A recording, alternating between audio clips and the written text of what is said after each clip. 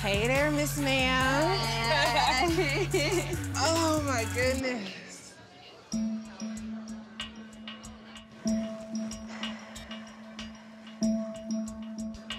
That trip was something else. Yeah. I'm dead dog tired. So we used to be able to get lit and stay at it, but woo! Mm-mm. I'm old. Mm-mm. It definitely feels awkward meeting up with Brandi.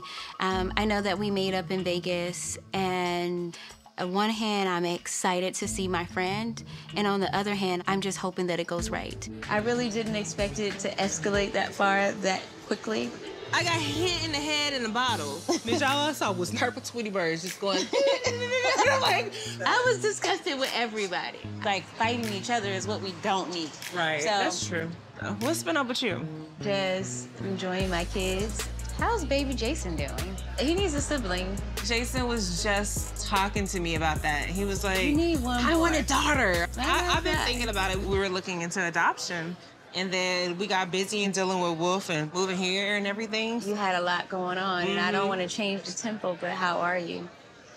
Um, I have good days. I have bad days. Losing someone that's like close to you is something that you just can never get over. It, it was hard. It was hard. Have you like grieved yet? Because no, I think it's important that you do.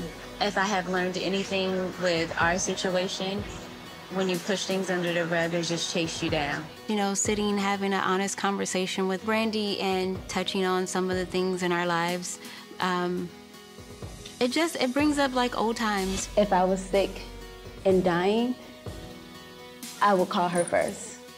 This is my friend. I What's mean, up? thou shalt not with my best friend. There you go.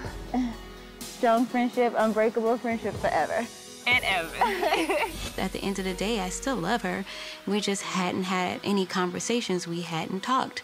But I'm so happy that I have her back.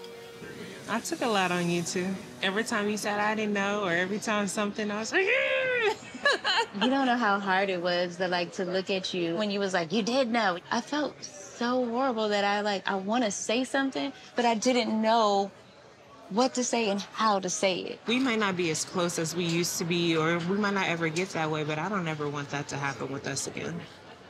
Please, because I don't fight my friends, I don't fight my sisters.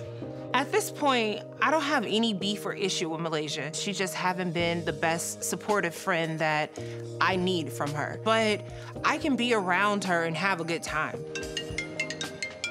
Uh, it's Brittish. Hey, Brittish. Guess who I'm with? Who? LaQuisha! Hi. I'm glad to you're with her because I need to invite you guys to something. Me and Angel are having a basketball soiree, like us playing each other. We playing basketball? Let's see if we got any pointers from our men or we just steal the serve. Okay, fine. All right, I'm gonna bulldoze everybody like my husband. Bye. Bye, babes. Oh. Sauvage, sauvage, souvenir. What? What the f is that? Soiree? What the f is that? I know how to shoot though. I ain't gonna lie. The only thing I know is like ball, ball, ball, ball, ball, ball, ball, ball, ball. Like when I Get see your cheerleading ass on somewhere. Hi, it's Jennifer Williams from Basketball Wives. Subscribe to VH1's YouTube channel so you don't miss anything this season.